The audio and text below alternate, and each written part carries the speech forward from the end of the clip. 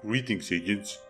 The anomaly we'll be examining today sheds light on the SCP Foundation's methods and the consequences they're willing to bear in their unwavering obedience to these protocols. Item number SCP-1913 Containment Class. Euclid. Disruption Class. 2 Vlam Risk Class. 5 Critical. Assigned Site. Site 45 Site Director Dr. Harold Crott Research Head Assigned Task Force Convoy Omega 8 aka The Cats in the Cradle Special Containment Procedures Revision 7 April 4th 19 Convoy Omega Dash 8 aka The Cats in the Cradle has been formed to handle the containment, research, and transfer of SCP-1913-1 and the avoidance and cleanup of SCP-1913-2 and SCP-1913-3 attacks. SCP-1913-1 is to be kept in a lead case, equipped with a single speaker to aid in interrogation. SCP-1913-1 is not to be allowed outside of its box unless confined to a windowless room, and is not to know its location. Convoy Omega 8 is to maintain constant movement across underpopulated areas of America and be prepared for engagement of both SCP-1913-2 and SCP-1913-3. Brief stops between sites for fuel, food, and equipment repairs are permitted. Personnel are to wear latex gloves while directly handling SCP-1913-1 and are to avoid skin contact at all times. If unprotected physical contact is made, staff are to immediately wash their hands of any ink-like substance. If strains begin to spread, the affected staff are to be terminated before symptoms occur. Containment of SCP-1913-1 is to be considered a priority until improved containment procedures can be developed. SCP-1913-1 must not be given to SCP-1913-2 or SCP-1913-3 under any circumstances. SCP-1913-2 and SCP-1913-3 have yet to be contained. Authorization has been given for any and all measures deemed necessary to neutralize SCP-1913-2 and SCP-1913-3. Revision 8 April 12, 19 All SCP-1913 instances are to be contained at least 1800 kilometers away from each other, in areas where the Foundation has established major sites. Four specific locations of each SCP-1913 instance refer to document 1913-53. Each SCP-1913 instance is to be placed in the middle of a tubular glass ring with a radius of 4 meters. The inside of the glass ring is to be filled with sulfur dust. Personnel are to wear latex gloves while handling SCP-1913-1 and are to avoid skin contact at all times. If unprotected physical contact is made, staff are to immediately wash their hands of any ink-like substance. If stains begin to spread, the affected staff are to be terminated before symptoms occur. Injuries caused by SCP-1913-2 may require termination if they cannot be healed. Staff must remove any visible armor or lab coat before entering SCP-1913-2's cell to prevent aggravation. SCP-1913-3's cell is to be blast and fireproofed. Entry into SCP-1913-3's ring is not permitted. Description SCP-1913 is the collective term of three separate entities designated SCP-1913-1, SCP-1913-2, and SCP-1913-3.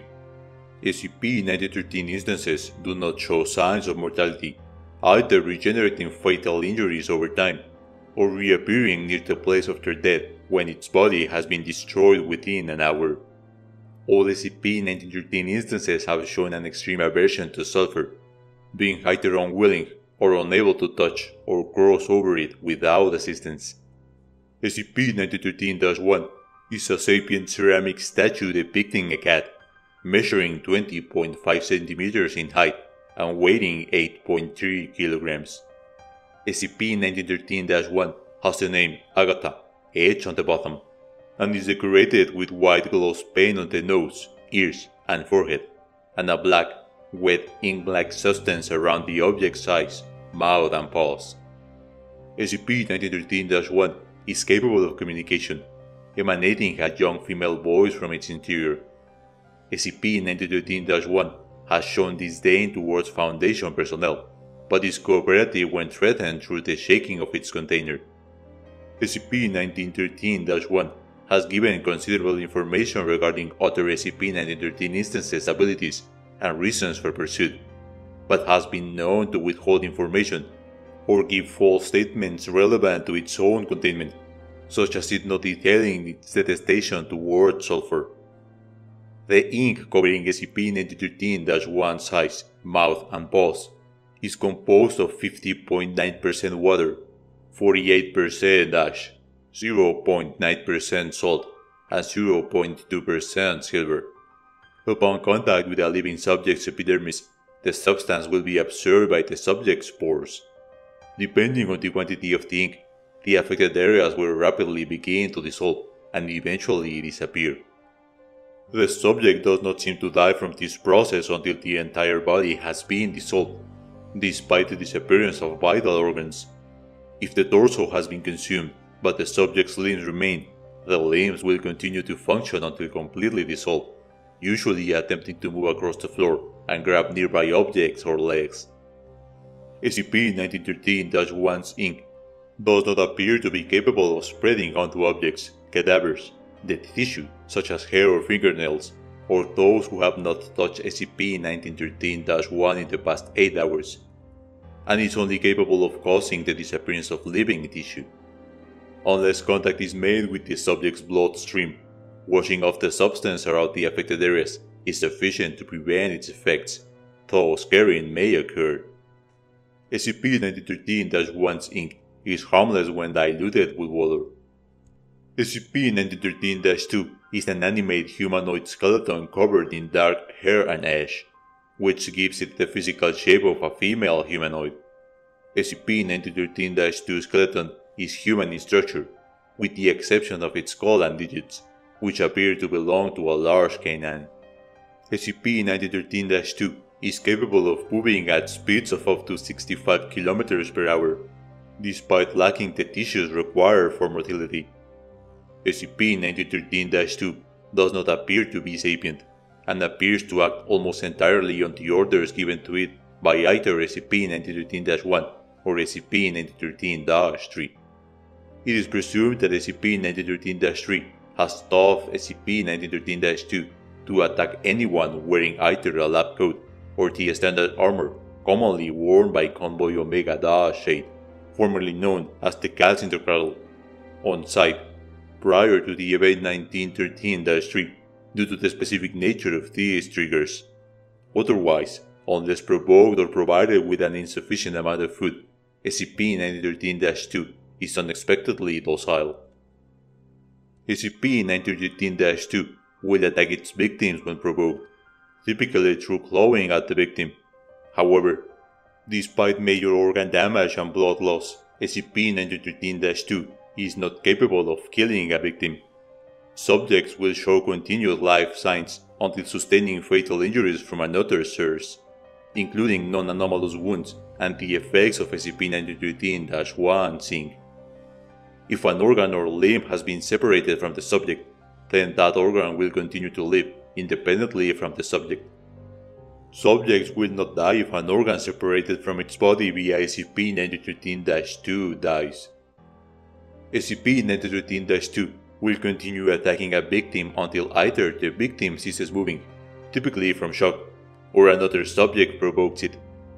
Although SCP-1913-2 does not require substance for survival, it has shown a proclivity toward eating the meat of its victims and will become agitated if food is not provided. SCP-1913-3 refers to SCP-1913-2 as Telly. SCP-1913-3 appears to be an adolescent male black Labrador Retriever, Canis lupus familiaris, lacking a mouth, nose, and eyes. SCP-1913-3's face consists of several ragged holes, mimicking a grinning visage, which reveals a dim white light. SCP-1913-3 is sapient and refers to itself as Freddy. SCP-1913-3 refuses to elaborate on its reasons for its pursuit of SCP-1913-1 beyond family matters, but it has been reported that SCP-1913-3 does not want to harm SCP-1913-1. Information from SCP-1913-1 suggests a physical change in SCP-1913-1's form, but has not been confirmed. When SCP-1913-3 collides with an object or subject, SCP-1913-3 will emit a burst of great color flames from the holes in its face. Flames produced in this manner reach temperatures of up to 1200 degrees Celsius, approximately 2192 degrees Fahrenheit, and have the expected effect upon coming into contact with non-living objects. Fire started due to contact with these flames will continue to burn until a subject's skin has been fully consumed, or until the fire has been put out.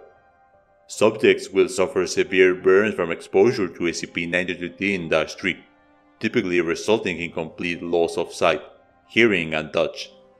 Determination attempts of the victims of SCP-1913-3 have only been successful when the victims have been dissolved by the ink of SCP-1913-1. Unless blocked by a significant amount of sulfur, SCP-1913-3 is able to determine the general location of other SCP-1913 instances. SCP-1913-3 periodically experiences mood swings, ranging from neutral to aggressive, often cursing containment personnel. SCP-1913-3 has been responsible for at least two major fires following the 24th of March, 19 SCP-1913-1 recovery on March 24, 19. SCP-1913-1 was discovered at the harbor upon investigation of a local shipwreck. Agent Crowley discovered SCP-1913-1 in the wreckage of the which was believed to have been in transit to New York City, but was instead en route to. Two bodies were found in the wreckage, but the remaining 20 passages were missing. After learning of the properties of SCP-1913-1, two lifeboats loaded with 20 cadavers were planted in waters to drown off groups of interests. Cadavers were D-class personnel who have died during testing. Due to the ship's state of disrepair prior to voyage, the sinking of the was proclaimed to have been caused by its mechanical condition. Encounter 001 report. Upon SCP-1913-1's arrival at site on April 2nd, 19, SCP-1913-2 and SCP-1913-3 attacked the site, causing emergency evacuation protocols to be activated. SCP-1913-2 repeatedly threw SCP-1913-3 at the escape vehicle carrying SCP-1913-1 which caused considerable damage to the vehicle before escaping. SCP-1913-2 and SCP-1913-3's exclusive interest in SCP-1913-1 led to the formation of Convoy Omega-8 and the collective designation of the three entities. Encounter 015 report An additional attempt to capture either SCP-1913-2 or SCP-1913-3 has failed. SCP-1913-2 and SCP-1913-3 have yet to cease pursuit of Convoy Omega-8. SCP-1913-2's constant movement, apparent knowledge of Foundation vehicles, and SCP-1913-3's constant explosive nature has made containment of the entity difficult. Tranquilizer darts, blast of water, fire, and gunfire have been utilized, but have yet to subdue either entity. Encounter 029 report SCP-1913-2 and SCP-1913-3 followed and attacked Convoy Omega-8 while it was receiving supplies at Site-41-8. Convoy Omega-8 requests backup, but was incapacitated before arrival.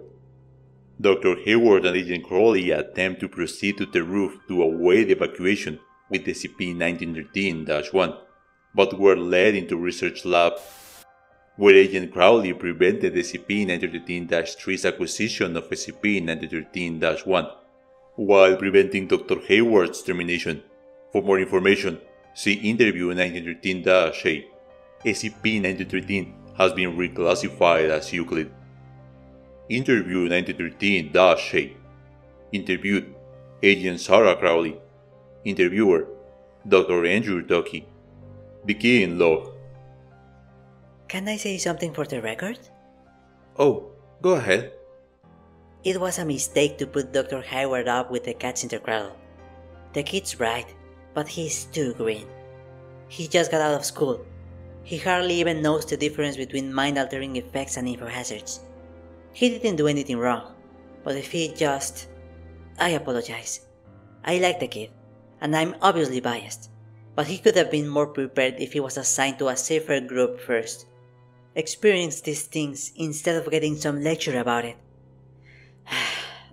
Sorry, I needed to get that off my chest. It's fine. You wanted to ask me about Encounter 29, right? Please? Right. We only needed basic supplies food and fuel. We weren't expecting to spend more than a few minutes at 45. But we were all kinds of jumpy. We hadn't seen the dog or the girl for days, so we were expecting something from them. Hayward and I were holding Dash 1 to the side's garage, and sure enough, the car exploded behind us. They must have been following us, waiting till we got to another side to attack because they seemed to have attacked us immediately after the 12 of us got out.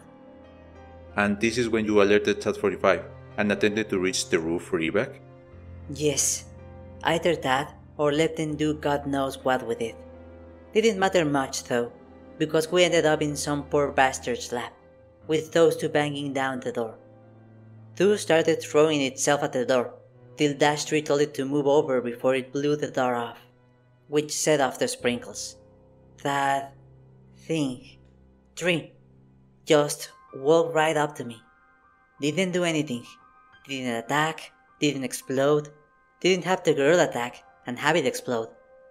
It just sat there. Only thing I could think to say was, why? It's been a long time since I felt so powerless. It told me that it was doing this as a service, that its flame was redemption, it said that they can't see, can't hear, can't feel. They're just left with themselves, see no evil and all that. What happened to Dr. Hayward? The idiot threw a microscope at it. Didn't matter much. Dash 3 knocked him into the counter afterward. It was steamed, clearly. Hayward got burned, but he was soaked too. Prevented him from burning too bad. I don't know why, but Tree told Two to kill him for it. Maybe it thought the kid was beneath it, or figured that Tooth do a better job. Ended up picking the kid up and throwing him to the far wall, crashing into these jars of sulfur before. well, before Dash 2 reached through his chest. Dash 2 was about to charge him, but it stopped.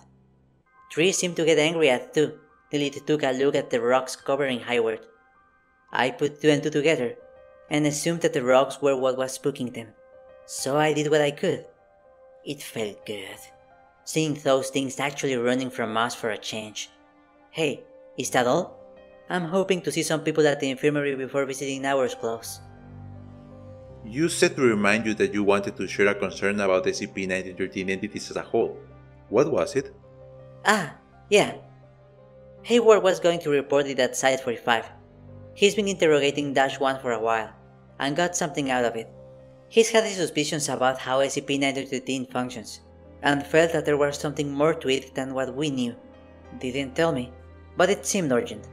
Thought it was worth bringing it up. Listen, I'd tell you if I knew it, but all I really know is that I lived to see those things tear out Hayward's heart, and so did he. End log. Closing statement. Dr. Hayward was released from intensive care one month after this interview, recovering from third degree burns over his arms and torso, and the cauterization of a hole through his chest.